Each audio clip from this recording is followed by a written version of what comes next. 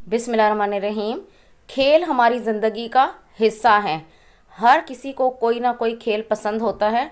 मुझे हॉकी का खेल पसंद है और हॉकी पाकिस्तान का कौमी खेल भी है और हमारे स्कूलों और कॉलेजों में भी खेला जाता है।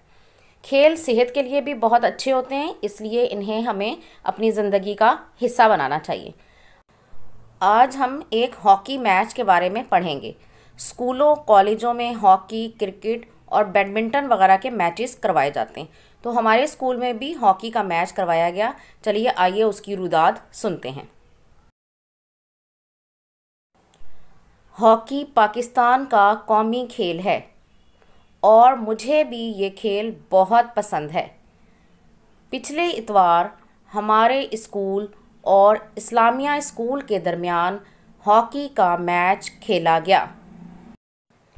हम सब दोस्त वक्त पर मैदान में पहुँच गए। बहुत से लोग मैच देखने के लिए मैदान में जमा थे। मैच नौ बजे शुरू हुआ। शुरू में मैच बहुत सुस्त था।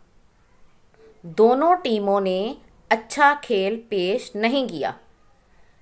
पहले हाफ़ में दोनों टीमों ने कोई गोल नहीं किया। हमारी टीम को पेनल्टी कॉर्नर भी मिला, लेकिन वो कोई गोल ना बना सकी। दूसरे हाफ़ में दोनों टीमों ने जारहाना अंदाज में खेल शुरू किया। इस्लामिया स्कूल की टीम एक गोल करने में कामयाब हो गई। अब हमारी टीम दबाव में आ गई। और खिलाड़ी भरपूर कोशिश करने लगे कि हम गोल बराबर कर लें। आखिरकार वो गोल करने में कामयाब हो गए।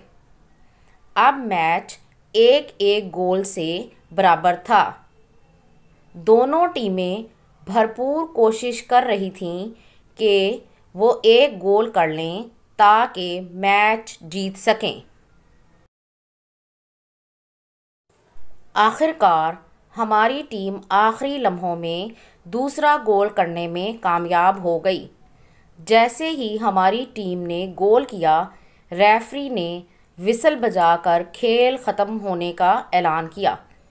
इस तरह हमारी टीम जीत गई। हम बहुत खुश थे। उम्मीद है कि आपको ये वीडियो पसंद आई होगी। अगर आपको ये वीडियो पसंद आई है तो इसे लाइक ज़रूर करें और मेरे चैनल को सब्सक्राइब ज़रूर करें। Thank you.